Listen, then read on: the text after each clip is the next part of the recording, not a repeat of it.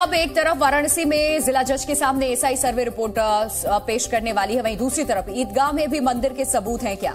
क्योंकि सबूत number one देख लीजिए, दीवारों पर ओम के निशान।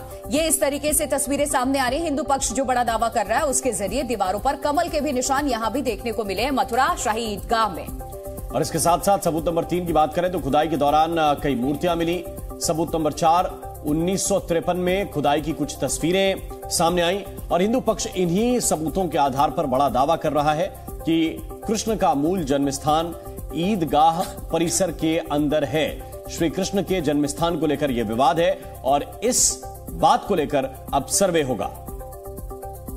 उम्मीद यही है कि जो सच्चाई थी नब्बे दिन की वो सच्चाई उस रिपोर्ट में लिखी होगी। और हम लोग जब रिपोर्ट पढ़ेंगे तो उसका पूरा अवलोकन कर पाएँगे। अच्छा आप साहब एक चीज़ हम जानना चाहेंगे कि क्या आप ये करने से रोक लगाई है नहीं, देखिए, ऐसा नहीं है। सुप्रीम कोर्ट ने रिपोर्ट को सील कवर में फ़ाइल करने के लिए ना कहा है, ना वो रिपोर्ट एक सीक्रेट डॉक्यूमेंट है।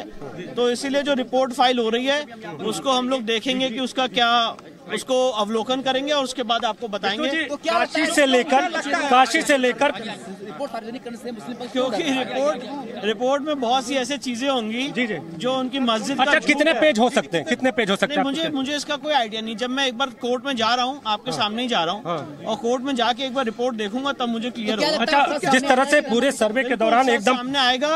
और जो एडवोकेट कमीशन की चीज़ों में हुआ था उससे ज़्यादा चीज़ें इस रिपोर्ट में स्पष्ट होंगी।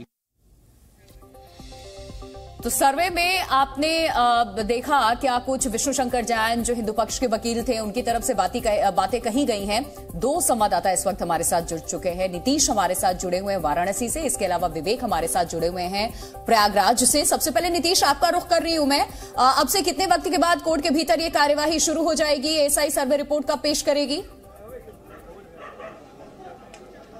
देखिए, अभी तक का अपडेट आपको बता दूँ कि जो हिंदू जो हिंदू पक्ष है, वो कोर्ट में पहुँच चुका है और एक अपडेट और है कि अब जो एएसआई के अधिवक्ता हैं, उन्होंने एएसआई की रिपोर्ट वहाँ पर पढ़नी शुरू कर दी। यानी जो कुछ पन्ने हैं, वो पढ़ रहे हैं और उसके बाद, यानी अब हम अपडेट बता सकते हैं आपको कि एएसआई की टीम ने अपने अधिवक्ता के द्वारा जो कोर्ट परिसर है, वहाँ पर पहुँचने के बाद रिपोर्ट को सबमिट कर दिया है। अब रिपोर्ट सबमिट की जा चुकी है और थोड़ी ही देर में जो इससे जुड़ा हुआ अन्य अपडेट है, वो भी सामने आ जाएगा कि आखिर इस रिपोर्ट में क्या क्या है? अमित कुमार से हमने बातचीत भी की। उनसे जानना चाहा कि आखिर ये रिपोर्ट कितनी महत्वपूर्ण और इसमें क्या क्या है? तो उनका साफ़ तौर पे ये कहना है कि साक्ष्य मिले हैं और मिलने के साथ ही आपको बता दें कि महत्वपूर्ण मान रहे हैं इस पूरे मामले में इस रिपोर्ट को और महत्वपूर्ण है भी क्योंकि बिल्कुल नीतीश ये बड़ा अपडेट दे रहे हैं कि एसआई ने अपनी रिपोर्ट पेश कर दी है। ये रिपोर्ट अभी पढ़ी जा रही है बहुत लंबी रिपोर्ट है। और इसके कुछ महत्वपूर्ण हिस्से जो हैं, वो कोर्ट के सामने इस वक्त पढ़े जा रहे हैं। इस वक्त की बड़ी खबर आपको बता रहे हैं एएसआई ने अपनी रिपोर्ट ज्ञानवापी मामले में